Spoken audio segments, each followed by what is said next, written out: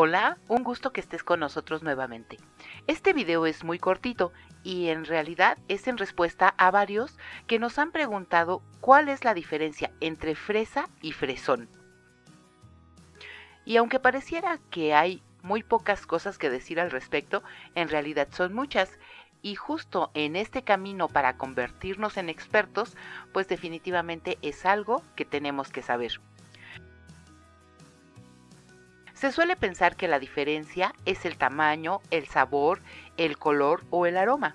Y claro, las fresas efectivamente son más pequeñas, insípidas y en algunos casos suelen ser más o menos aromáticas.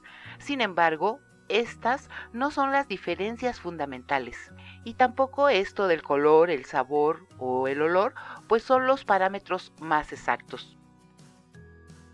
Puesto que estas características pueden cambiar de acuerdo a la nutrición mineral, a las condiciones del clima o a ciertos aspectos sanitarios, ¿no? Si hay alguna enfermedad que ataque a mi planta, puedo tener como resultado fresas pequeñas, insípidas o su color puede verse modificado. Les platico un poco. Todas estas plantas con características muy específicas como el ser rastreras, estoloníferas y que tienen frutos etéreos, ¿Recuerdan? Hago aquí un paréntesis. ¿Recuerdan que hablamos de los frutos que se desarrollan afuera del útero de nuestra flor? ¿Sí? Y que tienen una multiplicidad de aquenios donde guardan las semillitas. Bueno, pues estos son los frutos etéreos.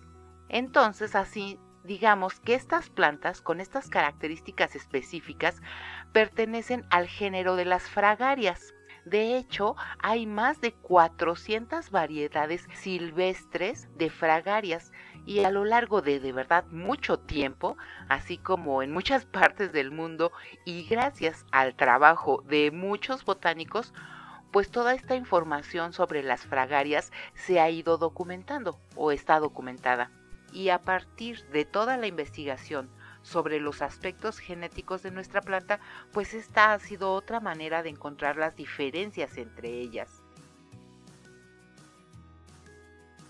De estas fragarias se han encontrado variedades que son diploides, tetraploides y hexaploides.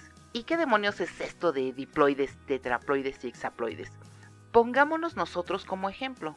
Nosotros, los humanos, somos una especie diploide, es decir, nuestra información genética se completa con dos copias parentales.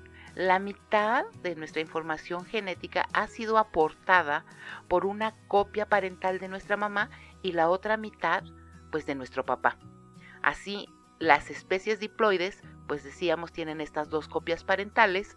Las especies tetraploides pues su información genética se compone de cuatro copias parentales, pues como por decirlo, si tuvieran cuatro padres, y en las hexaploides, pues son seis. Sin embargo, recuerdan que hablamos de una variedad de fresas que fue importada desde Chile. Esto de la historia de las fresas, pues lo dijimos un poco. Esta variedad justamente es la variedad chiloensis, y esta variedad fue importada a Europa. Evidentemente, ahí, justamente en Europa, había otro tipo de fragarias, como la fragaria besa. Este tipo de plantas, pues está repartida en todas las partes del mundo. Bueno, la cuestión es que justo en esta mezcla genética que se da, pues realmente surge un verdadero milagro de la evolución ya que se mezclaron genéticamente estas variedades que eran pues diploides o hexaploides o tetraploides y surge la primera fresa octoploide. Es decir, es una fresa que conserva la información genética de ocho antecesores genéticos. Es decir, pues la información genética de ocho padres. Y claro, esto representó una mejor adaptabilidad de la planta, una mayor resistencia a diversas enfermedades, mejores características en cuanto al tamaño, al aroma, al sabor, y esto hizo que desde hace ya casi unos 300 años, se cultivara más que cualquier otra variedad de fresas silvestres. Y pues definitivamente así es la evolución, los, los mejores especímenes son los que se imponen. Y es así como surge este tipo de fragarias octoploides que pasan a ser las fragarias ananasa. Esta fragaria ananasa pasó a ser la base ya de muchas mejoras genéticas. De hecho, pues no tengo así como muy claro cuántas variedades registradas existen actualmente, pero serán más de 200. Y hay diversas maneras de modificar la genética de una planta. Es decir, la podemos hacer tradicionalmente como se hace en la naturaleza, que es a través de polinizar estas fresas con otro material genético de otras fresas y ver qué características se pueden conseguir. O la otra, como viene siendo la transgenie, que ahí sí ya específicamente se busca un gen y se puede insertar, ¿no? Esto ya es otra cuestión de la ingeniería genética. Y, y la verdad es que luego, pues dicen, ¿no? Que están en contra de los organismos genéticamente modificados. Pero si somos estrictos, pues nuestras fresas, nuestras fragarias ananasas, pues son unos organismos genéticamente modificados con respecto a de dónde surgen, ¿no? De dónde vienen, que son las fresas silvestres.